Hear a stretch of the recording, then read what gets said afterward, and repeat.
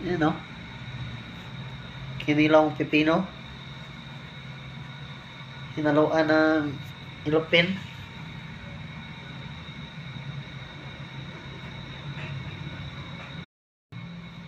Yan o. Kinilawang pipino. Hinaluan ng ilopin.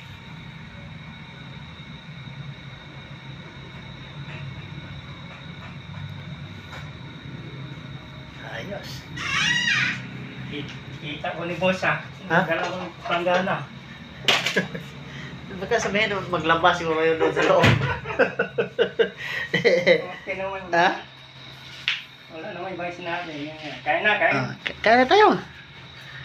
Brad, Kanin. may kilaw na daw. Oh.